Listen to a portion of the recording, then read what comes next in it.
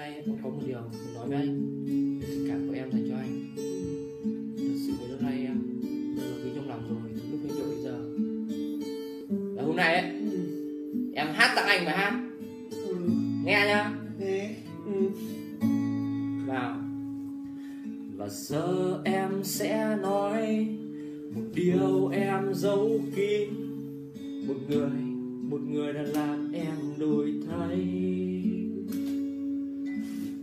sơn mít dũng là đã biết nhiều cảm xúc nhất để em viết lời ca cho anh.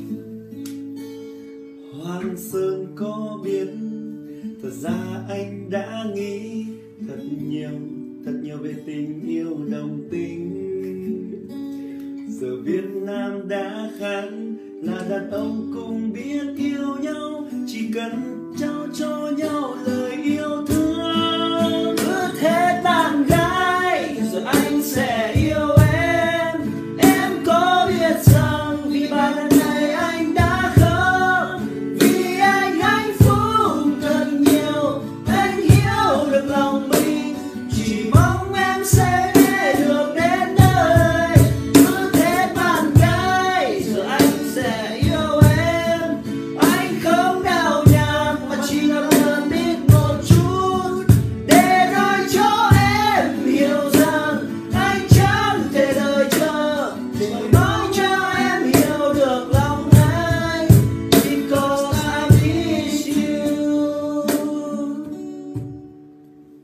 nghe xong chưa?